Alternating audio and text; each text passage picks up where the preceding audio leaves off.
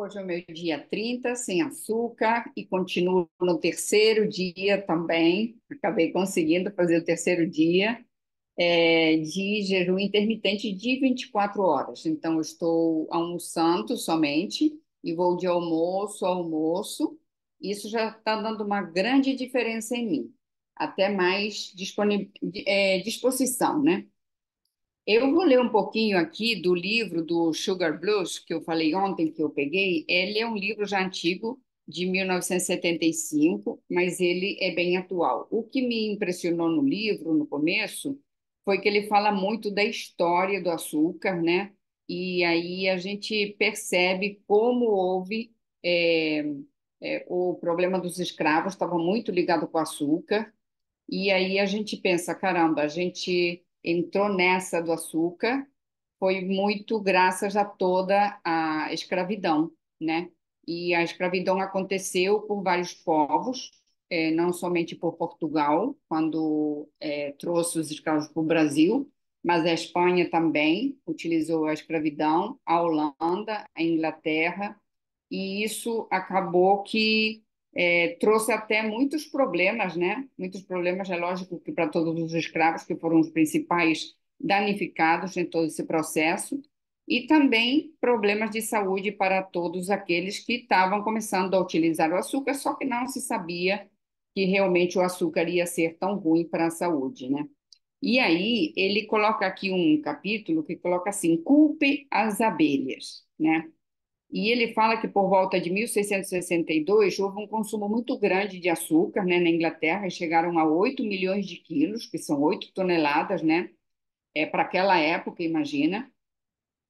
E aí aconteceu uma praga naquela época, né? Que eh, foi chamada de é, doença bubônica. Só que assim, quem descobriu é, o problema, na verdade, foi o, um doutor que era muito famoso já na época, que ele, ele tinha até como clientes é, é, pessoas da, grande, da alta sociedade, né, pessoas que realmente tinham dinheiro, e os que realmente adoeceram foram nas grandes cidades quem realmente tinha dinheiro, e nos povoados pequenos que eles não tinham acesso a açúcar, eles não adoeceram. Então aí começou a investigação desse Willis, né, Dr. Martin, não, Thomas, desculpa, Thomas Willis, e ele foi o primeiro a descrever é, e a descobrir também uma extraordinária doçura na urina de seus ricos e famosos pacientes. É, e ele fala, ele acabou dando o nome de é, tá aqui, polúria, o latim melitus, né, que Willis combinada com o grego diabetes significa doce como mel. Ó, eles, em vez de colocar a culpa já no açúcar e colocar realmente o nome do açúcar, né? É, eles estavam falando sempre em latim, mas poderiam colocar é, poliúria, poliúria saccharitis, e eles não fizeram isso. Por quê? Porque aí ele ia também contra todas essas pessoas que tinham um grande comércio com açúcar. Então, ele quis, digamos que, é, tirar o corpo de fora, né?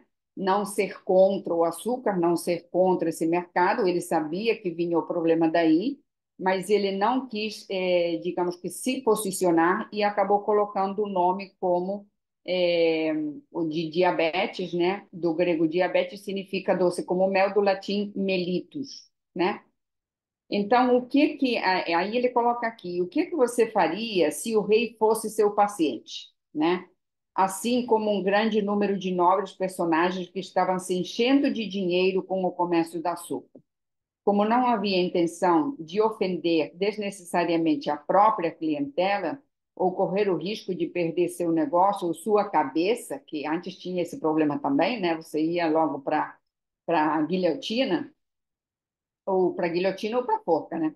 É, sugerindo que o uso do açúcar poderia ser a causa de uma nova doença você daria ao problema o quê? Um nome grego, né? E um nome que não tivesse nada a ver com açúcar. É melhor ainda, punha a culpa nas abelhas, tá? O mel existe desde o princípio dos tempos e ninguém jamais tinha imaginado um modo de fazer fortuna com criação de abelhas.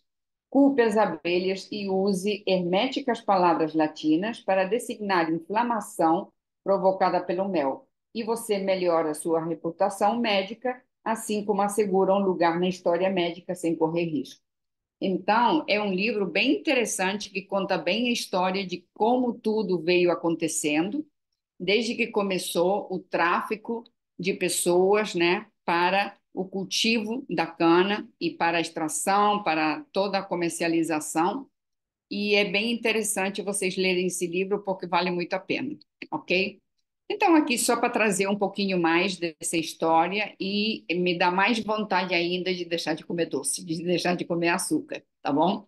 Então, eu vou continuar. Amanhã dia 31, eu já quase estou chegando no um terço, né, do meu desafio. A ideia não é parar nos 100 dias, mas eu coloquei como meta esses 100 dias. A ideia é dar continuidade para o resto da minha vida. É claro que um dia que eu queira fazer alguma coisa um bolinho, alguma coisa, tem tantas outras formas de fazer sem utilizar o açúcar e que coisas que eu vou começar a trazer aqui para vocês também, tá bom?